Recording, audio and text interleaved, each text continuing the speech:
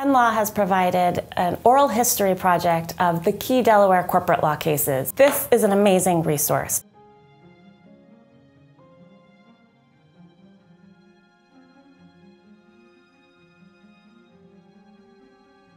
the rapid fire markets that we have right now, the active M&A trading, that stuff was really a, a new historical phenomenon that hit really hard in the early 1980s. What the courts did and what the legislature did in that era have defined the way people practice corporate law and conduct deals. There are awards to be given out here, and, and they go to the Delaware court.